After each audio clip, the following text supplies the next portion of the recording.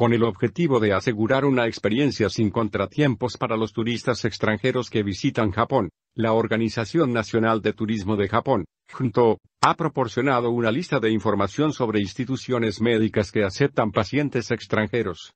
Esta lista, anunciada el 17 de febrero en el sitio web de la Agencia de Turismo de Japón, se ha traducido a varios idiomas, incluyendo inglés, chino, simplificado barra tradicional, y coreano. En ella, se enumeran las instituciones médicas que están preparadas para atender a pacientes extranjeros. Esto garantiza que los visitantes tengan acceso a atención médica de calidad y puedan disfrutar de su viaje a Japón con tranquilidad, sabiendo que cuentan con opciones de atención médica adecuada.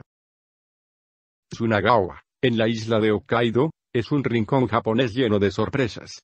Entre sus atractivos, se encuentra el Parque Tsunagawa, un remanso de paz con jardines cuidados y un estanque sereno. Los amantes de la historia pueden explorar el Museo Histórico de Sunagawa y descubrir la rica herencia de la ciudad.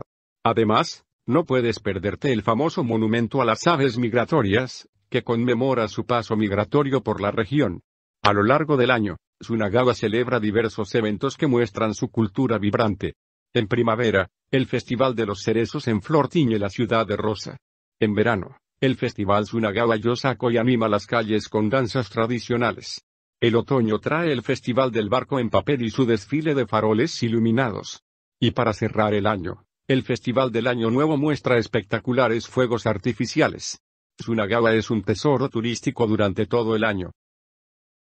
Utashinai, una pintoresca ciudad en Hokkaido, ofrece una experiencia única a los visitantes. Entre sus tesoros turísticos se encuentra el Museo del Carbón de Utashinai, un testimonio de su pasado minero, y el Parque Memorial Sowa-Shinsan, un lugar de serenidad con hermosos jardines. A lo largo del año, Utashinai organiza eventos que reflejan su rica historia y cultura. El Festival del Carbón en verano celebra la herencia minera con desfiles y exhibiciones. Durante el Festival de Otoño, los visitantes pueden disfrutar de la belleza de los árboles rojos y amarillos. La Navidad ilumina las calles, y el Año Nuevo se celebra con entusiasmo en el templo Chinnenji. Utashinai es un destino encantador durante todo el año, donde la tradición y la naturaleza se fusionan en una experiencia única.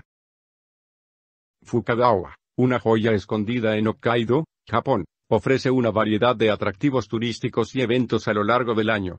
El Museo Histórico de Fukagawa presenta la historia y la cultura de la región de una manera fascinante. El Parque Fukagawa, con su exuberante vegetación y hermosos estanques, es un refugio para los amantes de la naturaleza. A lo largo de las estaciones, Fukagawa celebra eventos que capturan la esencia de su identidad. El Festival de la Cereza en primavera pinta la ciudad de colores suaves, mientras que el Festival del Fuego en verano ofrece emocionantes exhibiciones pirotécnicas. En otoño, el Festival del Momiji muestra la belleza de los arces rojos y amarillos, y en invierno, el Festival de las Linternas ilumina la ciudad con su magia. Fukagawa es un destino que combina historia, naturaleza y celebración durante todo el año, invitando a los visitantes a sumergirse en su encanto. Furano, un rincón mágico de Hokkaido, Japón, ofrece una experiencia turística inolvidable durante todo el año.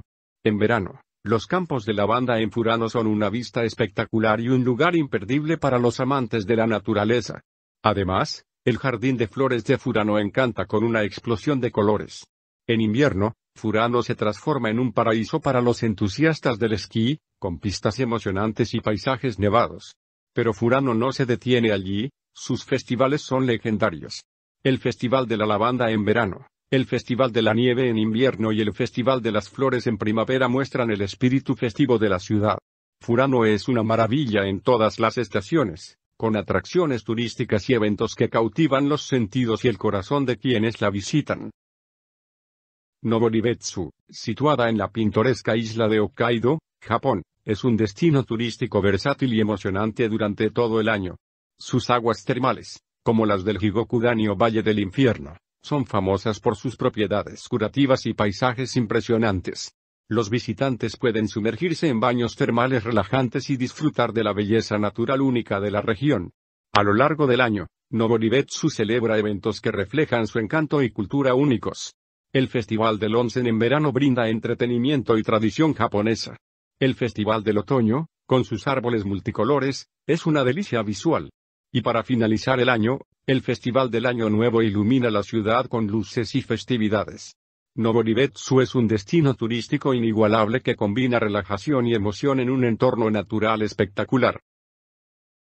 El Aikido, un arte marcial japonés nacido en el siglo XX, se destaca por su enfoque único en la autodefensa y la armonía.